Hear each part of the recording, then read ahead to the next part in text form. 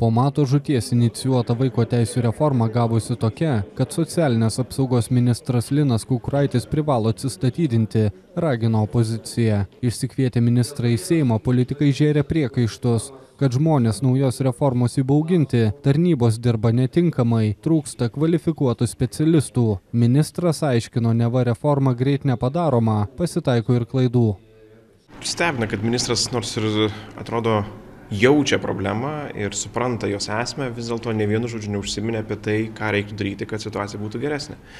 Ir pinigų pakanka ir ekspertai yra gerai paruošti ir su šeimomis dirbama ir ir vaikų neatimama ir vaikų lyg ir mažiau mušama. Ministras jokios politinės atsakomybės neprisiima na lyg tai yra ir aklas ir kurčias visai tai. Bet kitąmet bus geriau. Ims dirbti socialinių darbuotojų asistentai, kurie švies šeimas, tarnyboms bus didinamas finansavimas, tačiau opozicija vis vien kalba apie interpeliaciją.